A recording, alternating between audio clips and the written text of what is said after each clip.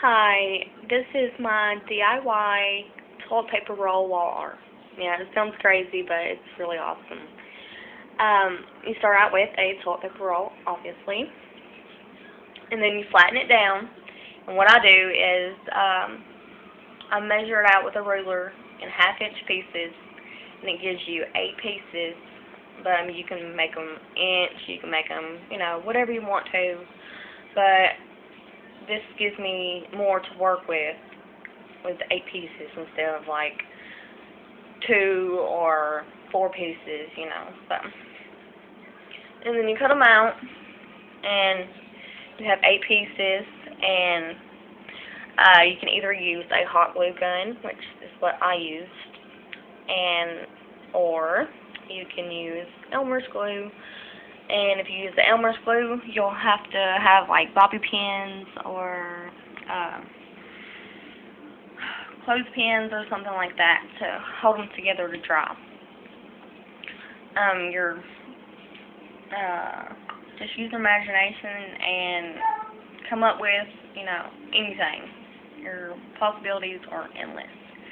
Um, I did have a problem with using the hot glue I don't know if it was where um, my art is, you know, fairly big, uh, but the pieces started coming unglued, and I had to reglue it using the Elmer's glue and securing it like that to reglue. But, anyways, uh, this is what I came up with. Um, after you, you know, glue everything together, then you'll want to use spray paint or whatever you want to. Spray paint is easiest because you put it all together like this, and then you uh, spray paint obviously instead of painting every piece individually. But this is what I came up with.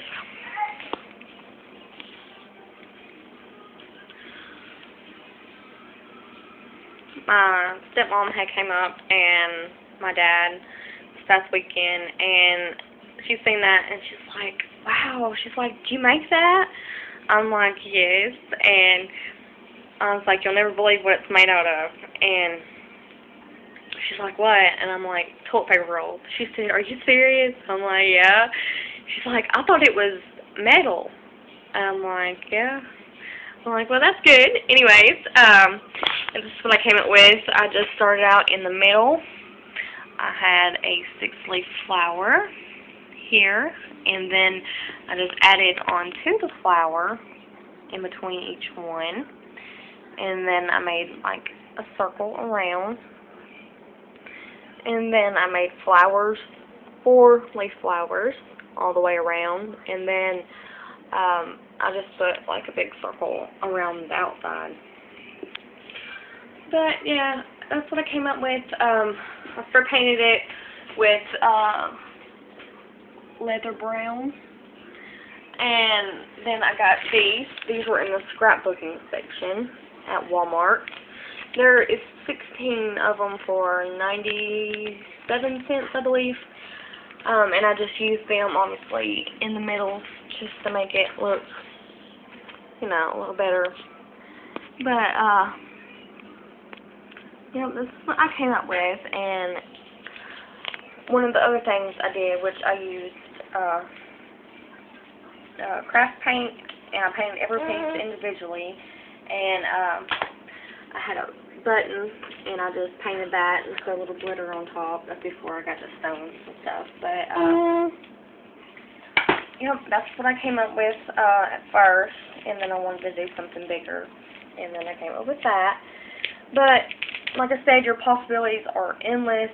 Um, look on Google, type in toilet paper roll wall art, and there will be, you know, different designs that people have came up with, and there was one that was not really exactly like this, but it was a lot bigger and it had a lot more detail, but um, that's where I kind of got my inspiration from.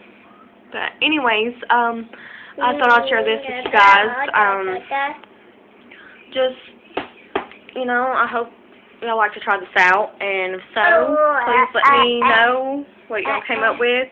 Send me pictures, a video uh, response, or anything. Alright, thank you guys for watching, and I will talk to you guys next time. Bye.